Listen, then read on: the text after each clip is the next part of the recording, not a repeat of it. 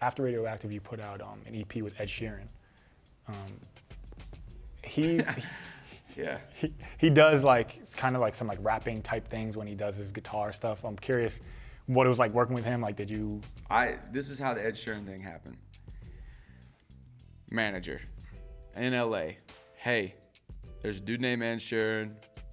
He uh, he's in he's here from overseas. He wants to hook up and do some music. Here's a link to his stuff. All right. So I didn't even look at it.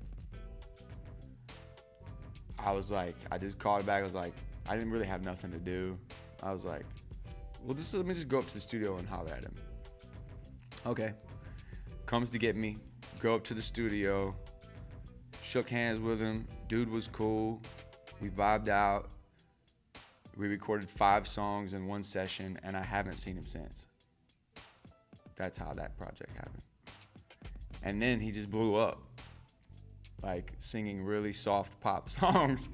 so I, you know, like I don't. There were people in Europe I'd like going, "What the f- were you thinking? Why did you do a collabo with Ed Sheeran?" I was like, "Dude, you don't understand how that happened. Like it might not make creative sense, but somehow it did. You know, like we just kicked it. Um, but it's funny now, like especially with his singles and shit. I'm like, I, I got a whole album with that dude." Nothing but like like screaming little girl fans and it's funny man. It's cool. I mean he's a he's he's super talented man and a really cool person man. So i'm proud of the project but it's it is it is funny how it happened. One session five songs ep done out later dude nice to meet you How do you Never feel about that project? Think like thinking back on it. I will.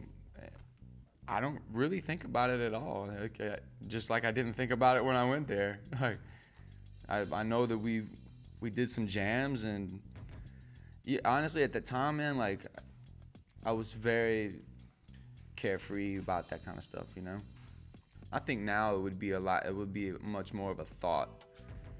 You know, like all right, if I'm gonna do this, I'm gonna sit and invest myself into this project. You know where back then I was just go, go, go, go, go, go. You know, I was just so used to mixtape life, so used to. I mean, Radioactive was done in two weeks. You know, um, Trunk Muzik was done in one week. Uh, produced and recorded Monday through Friday. Recorded all the songs on Trunk Muzik Saturday and Sunday. Cover was done by Monday. Mixtape.